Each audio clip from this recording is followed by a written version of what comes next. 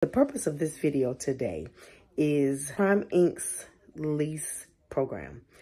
I've got a lot of questions about it. I've got people who have asked me face to face and I've got people who are commenting in the comment section below and they are inquiring about the Prime Inc program.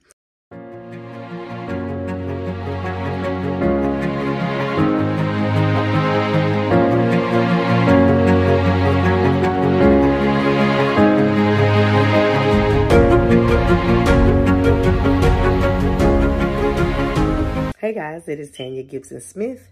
Welcome and welcome back to the channel. If you are new here, go ahead and consider subscribing, hitting that notification bell. Go ahead and share this video, like this video, and comment down below. My two cents, right? And this is really just my personal opinion, okay? I put more in the fuel tank that I was able to put in my pocket. Um, after the fees and after the truck payment and after um, this little bit, that little bit being deducted, by the time I actually was able to bring anything in, it was not anything like what it looked like. I did the video. Um, it was a ride along. And in that ride along, there was settlements, right? I showed you guys, and I'll I'll stick that thumbnail right here so that you can go back and you can watch that. But in that, in those settlements, right? The settlement might say $5,000, but I'm bringing in maybe 900. and I think that is what a lot of people are doing on YouTube. They are posting their, and y'all, Prime, y'all, please don't come for me.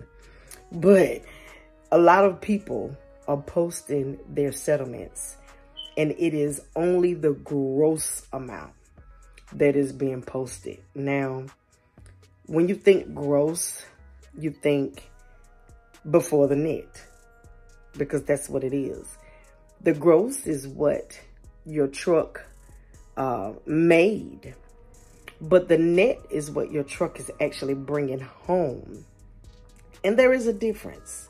So, um, yeah, I ended up finding out really quickly that Prime just was not for me, especially in the time and in the season that I was there. I think I made a video and told you guys that I just was there at the wrong time. I should have uh, took my time and went when I know I was supposed to go, which was after my year was up at CFI. Also, when you are accepting loads, right? Your fleet manager is not going to tell you if the load is good or if the load is bad, right? So this is something coming in from other companies that I believe you should watch for. If you are going to Prime Inc. and you want to uh, join the lease program, I believe that it is a program for people who are coming out of Prime's training because once you've been on the truck with another Prime Inc. driver, they're able to lead you and guide you and tell you right from wrong. When you are coming from other companies, you are out there by yourself. Your fleet manager is not going to tell you anything. You really have to know how to maneuver the loads when they come through. I was watching a video one time I don't really remember who it was, but somebody was saying that if you decline too many loads, then that was means for termination. Um, I think Rob Low may have gotten rid of a lot of drivers right before I got there.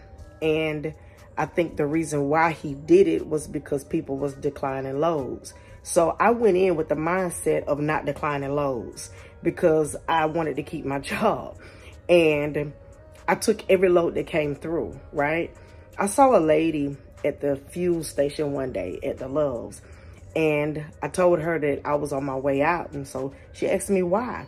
And I just gave her a quick rundown about how I'm just not making the money that I thought I would make. I pretty much came here on a wing and a prayer. And I think that my timing was off and, and yada, yada, yada, right? So she was like, let me give you my number and you can call me when you get your next load. I'll tell you whether they accept it or not. I'll tell you whether it's going to be good or not. And I'll let you know whether you should um, take it and how much money you're going to be making and so forth and so on. And I did just to see what that would have been like, right? And she told me not to take the load. I had already accepted the load because the load was taking me back to Springfield. it was taking me back to Springfield so I could turn my truck in. I didn't tell her that though. I just needed to know what her opinion was and what she thought. She told me exactly what she thought. She said that I should not take the load. And it was because um, the miles and the money just didn't make sense. I really didn't know how to maneuver that just yet. Um, you know, it was my first lease and I probably should have went in as a company driver first. I think if I had done that, I would have uh, had time to learn the company and understand what it was all about. Um, so my advice to you going into Prime Inc., if you are going in with no license and you want to train there and you want to lease your truck after you train, do that it seems to me that everybody who does it that way win, okay?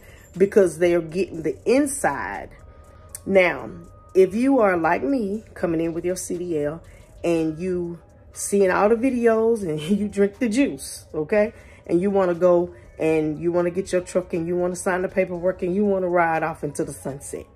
Believe me, you're going to have to have some leasing experience you're going to have to have somebody from Prime maybe on the inside to talk to you. Somebody that can kind of share the insights with you about the do's and the don'ts, what loads to take, what loads maybe not to take. Your fleet manager is not going to do it. And nobody else is going to do it. You're going to have to know.